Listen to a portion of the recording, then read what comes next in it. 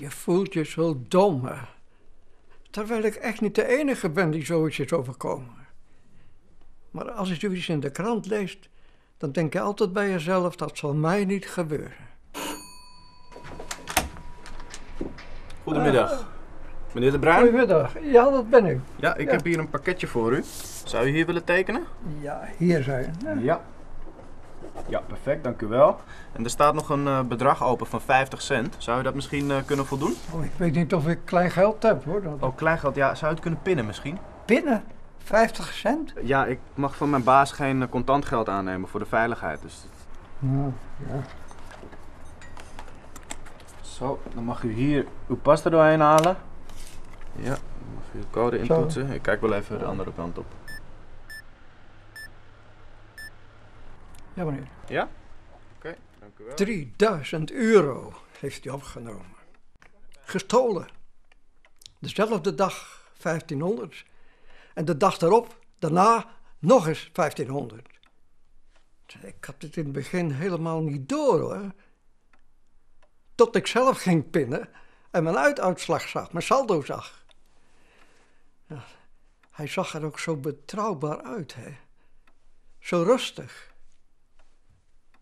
En ik weet echt niet hoe zo'n zo, zo nep pinapparaatje eruit ziet hoor. Je kan er niks aan zien.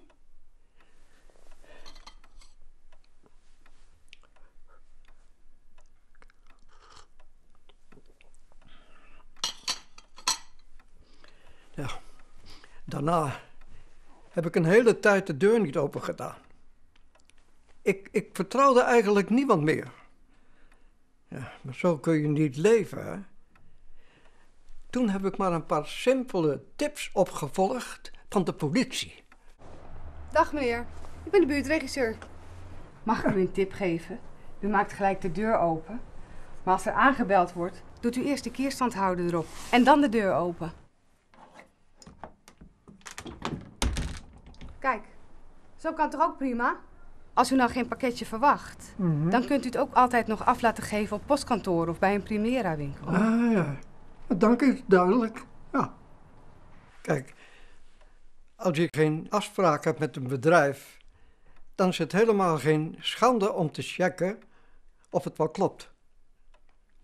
Ik zelf zeg dan altijd dat ik geen tijd heb en dat ik een nieuwe afspraak wil maken, zodat ik kan zorgen dat mijn zoon erbij is. Nou, die oplichter komt dan echt niet meer terug hoor. Voor de zekerheid heb ik bij de bank mijn opnamelimiet verlaagd, zodat men niet meer dan 300 euro per dag kan opnemen bij de bank. Nou, ik zelf heb eigenlijk niet meer nodig hoor, dan die eh, 300 euro. Ja, en eh, het klinkt misschien een beetje bangig, hè? maar na die tijd voel ik me toch een, een stuk veiliger. Zeg, voor jullie weggaan, mag ik dan even jullie zakken controleren? Je kan niet voorzichtig genoeg zijn, hè?